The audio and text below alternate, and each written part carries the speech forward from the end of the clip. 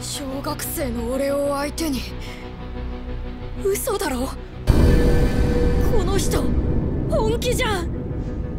か構えたよ。本気じゃねえよ。無理やりやらされてるいじめだったけど俺は期待していた。高校生が小学生に本気になるわけがない。しかもこの人は世界一本気を演技する俺に爽やかに笑って優しく戦ってくれる。甘かった。泳げるか？何？少しは。何？一体何？どういうい俺の前から世界一が消えた。ケツ